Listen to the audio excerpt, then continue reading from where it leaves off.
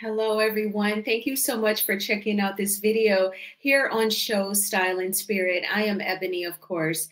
As you can see from the title of this video, I will be sharing with you all the article from the U.S. Sun that details uh, Melody's alleged request for psychiatric evaluation on Martell after some um, of his behavior at the kid's school as recent as December 2023. Now, be, before we get into the details, I ask that you please hit the like button on this video, or even if you were to hit the dislike button, either one of those work the same, meaning that YouTube will push this video through its algorithm recommending it to more people who do uh, love to converse about love and marriage Huntsville. And if you have not already done so, please subscribe to Shows Style and Spirit. And certainly, my opinions here, everything that I'm saying is my opinion and alleged, and my fair use commentary on this article and its content, it is allowed thanks to the Copyright Act of 1976.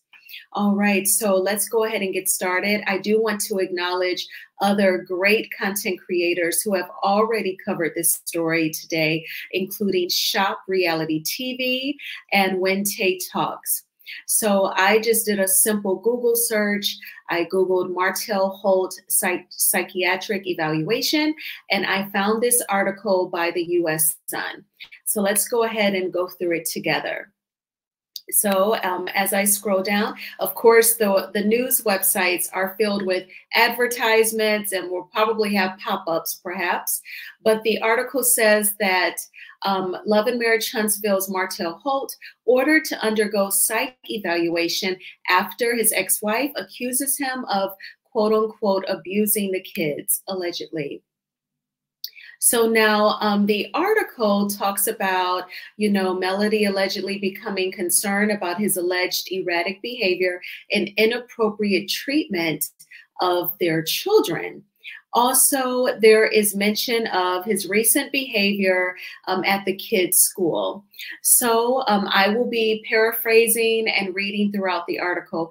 According to Alabama court documents exclusively obtained by the U.S. Sun, Melody informed the court that the mental, psychological, and emotional stability of the father is an issue. The filing stated that based on the father's recent erratic behavior at the minor children's school, their practice, I'm assuming sports. We know that Mariah plays tennis.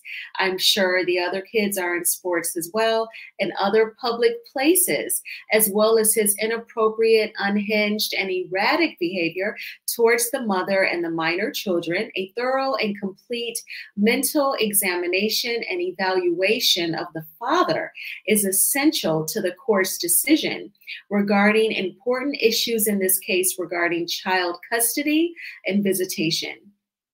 Also, allegedly, his actions are detrimental to the physical, emotional, and mental well being of the children. And there are fears that the children have already suffered emotional damage as a result of their dad's alleged irate and erratic behavior. This is very sad for me to report, and I wish that no one else has had to um, experience this. I don't want to hear about anyone getting divorced or getting abused, but especially children. In the same filing, um, allegedly, Melody continued to say that uh, the ex, her, her ex-husband Martell, allegedly uses corporal punishment against the minor children. She gave an example going back to December the 11th, 2023, where he allegedly threatened to quote unquote tear them up once their divorce case is over, referring to their minor kids, and said in a separate filing from December 14th that he even offered to allow the children to be on the television show Love and Marriage Huntsville if he could use corporal punishment in the future. The former couple have four kids together, as we all know. And the TV personality also has another child uh, with Arionne. So um, those are the disturbing and sad details.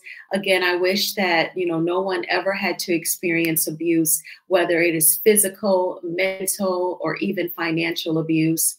Um, I think that Melody, of course, has done the right thing by asking the courts for the psychiatric evaluation.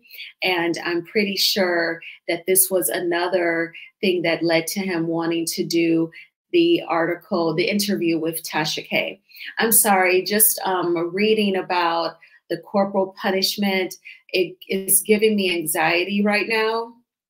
And I just know that um, uh, the way that I was raised in a very strict household, my dad is from Alabama. I individually, I've never had a whooping, but I always knew about the whooping. I was, you know, I would get threatened with it. If I was, I guess, being a little whiny, if I was crying, or because I really wasn't like this, you know, bad mouth child, but I guess if I was crying a little too much, you know, there was the threat of it, you know, or I guess being a little whiny or getting on someone's nerves. And so uh, just the fear of the whooping that that did a number on me. So just the thought of someone getting corporal punishment it just it seems like a lot so i feel like melody has totally done the right thing to get the psych psychiatric evaluation um, what i found to be very interesting was that there has been some um, erratic behavior allegedly at the children's school. So I instantly thought of potential witnesses. I wonder, has anyone come forward? Is there any cell phone video? Did any other parents see this behavior and reported it to the principal, the teachers. So, um, and, and, and even at the kids' practice as well, I think of witnesses, cell phone video, some sort of evidence that could uh, corroborate the claims in the court documents. But I'm so glad that the judge saw this as serious as it is to order the psychiatric evaluation and then we'll have to see you know what goes on from here.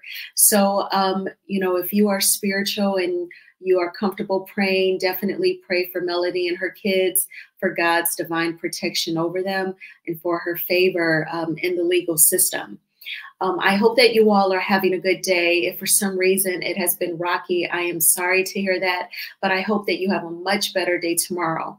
I thank you for watching this video. I ask that you please hit the like button on this video, and then it'll get more the video out to more people who may want to talk about this subject you know, let me know your thoughts. You know, if uh, do you see limits when it comes to spanking children? You know, are you not for adding things like belts, extension cords, just your hand, or certain scenarios, certain parents?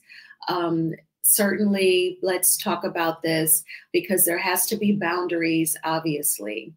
All right, thanks again for watching this video, and I will talk with you all soon. Take good care. Goodbye.